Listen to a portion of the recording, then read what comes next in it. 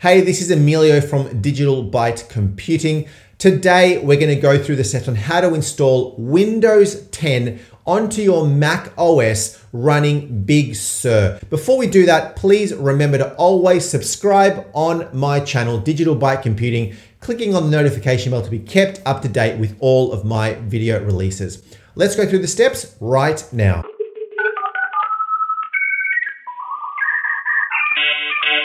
All right, so you've got yourself your Mac. Uh, we are running Mac OS Big Sur, awesome, awesome operating system by Apple.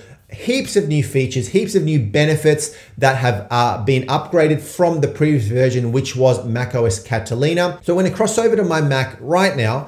Get yourself a copy of Windows 10. You need to get an ISO of Windows 10 to be able to go and install it on your Mac. And essentially what this will let you do is when you power on your Mac, you can start on Windows or you can start on Mac OS. So let's cross over to my Mac right now and show you how to do that and the steps to cover that installation. All right, here we are logged into our Mac on Big Sur, as you can see. Uh, first thing you need to do is get yourself a copy of the Windows 10 ISO.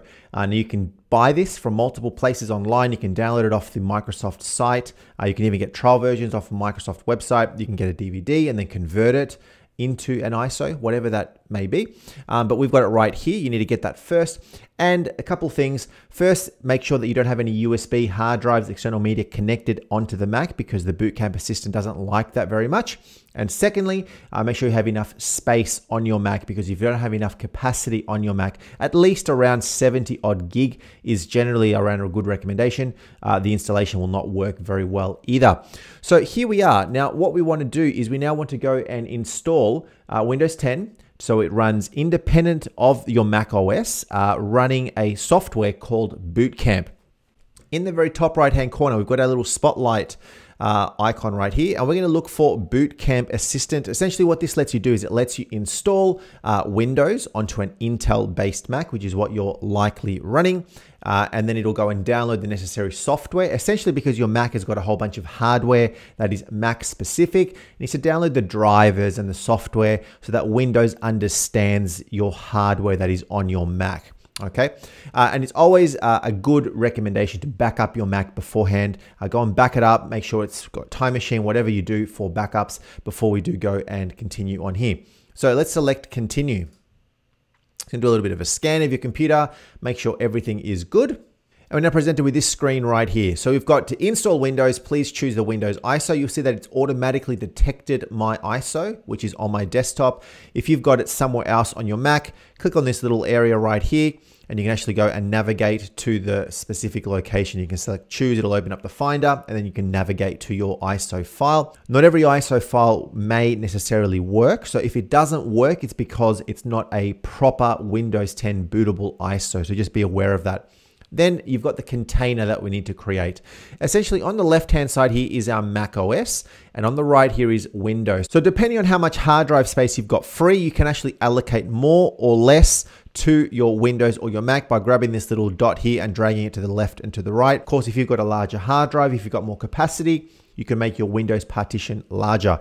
Now be aware that once you've set this, it's created the partition and it's installed Windows, it's gonna be very challenging for you to go and expand your Windows hard drive later. So if you're gonna be using it for gaming, for running apps that are specific to Windows, give it the right amount of capacity right now. Next step is to click on install. Now it's downloading all the relevant software off the internet uh, for your support software, your drivers, things like that. It may take a little bit of time. Now, once all of the relevant software has been downloaded, it's going to start to do the pre-configuration of your Windows and then your Mac will restart. And what should happen is it'll restart into the installation of your Windows 10. So make sure that any apps that are running that you need to save work, what have you, uh, is done beforehand because then your Mac will reboot and then we kick off into the Windows installation. So if everything has gone well, your Mac should reboot and you're now presented with this uh, Windows logo. And then the Windows installer will then begin automatically. And we're now presented with the standard uh, Windows start setup screen where you select your language and your time. Uh, we're going to leave these as the default of English United States. Select next. And we now say install now. If you've got your serial key or product key, you can input that in there right now. Or you can say, I don't have a product key, and you can always input that in later. A few different options around Windows here. Uh, yours may have different options, additional or less options, depending on which ISO of Windows 10 you've got. I'm going to be selecting Windows 10 Pro.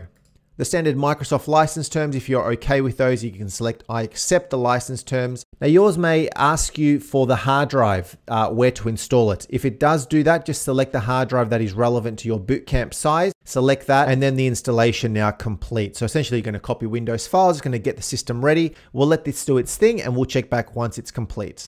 So your Mac will likely reboot once or twice uh, while the installation is completing. And now it's doing some final setups in the background. So now it's just some basic configuration options that need to be configured on the Windows side. Of course, you configure these which are relevant for you. We're just going to go with most of the defaults.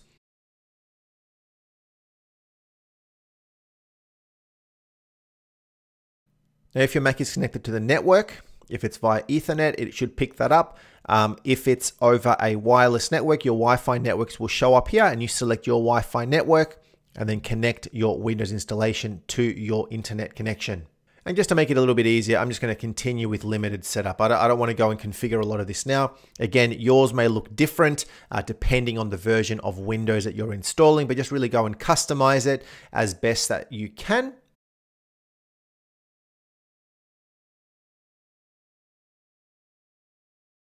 And then it will do some basic setup in the background that could take several minutes. So here we are logged in. We've now got Windows 10 logged in, ready to use exactly the same way as if you have uh, Windows running on another PC, except this is now running on our Mac side by side with uh, Mac OS Big Sur, which is great. Now you will get a prompt, hopefully you'll get a prompt to go and install the Windows Bootcamp software or the drivers. Essentially, this is uh, allowing Windows to identify and understand all of the hardware that's on your Mac. So follow the simple prompts, clicking on next all the way through to the very end rebooting your computer back here onto the Windows side. So what we can do now is we can grab our keyboard and uh, boot into our Mac and then select essentially the default login so that every time you power on your Mac, you can select to either boot into Mac OS or into Windows. On our Mac keyboard, we're going to hold down the Option key and you should have an option of either Windows or EFI boot, Windows being your Windows 10, EFI boot being your Mac OS. So you select the one that you want to boot up, we're going to boot into Mac OS. So back on our Mac, uh, obviously booting between Windows and Mac is quite easy. Also within the system preferences area, you can select startup disk, essentially unlock it, and now I can easily select which hard drive I want to start up. So if I want to restart my computer or boot up my computer, it could start either on Windows by default or on Mac OS by default. And of course, you can do that on the Windows side through control panel as well. So there you have it. They were the steps. Hopefully you were able to install Windows 10 onto macOS Big Sur. Definitely, definitely a great operating system, both Windows and macOS. And they're awesome when they are working together and you have the ability and the flexibility to be able to run one or the other. If you found this helpful, I would love it if you commented below. Let me know if you were able to get this working or not. And most importantly, please remember to subscribe on that button right there, clicking the button and on the notification bell to be kept up to date with all of my videos released on Digital Byte Computing. But that's it for now. Thanks for watching. We'll see you next time.